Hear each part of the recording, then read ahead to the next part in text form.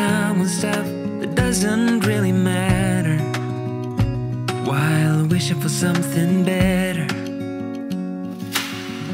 I try to fix things that weren't broken, misunderstandings and words unspoken.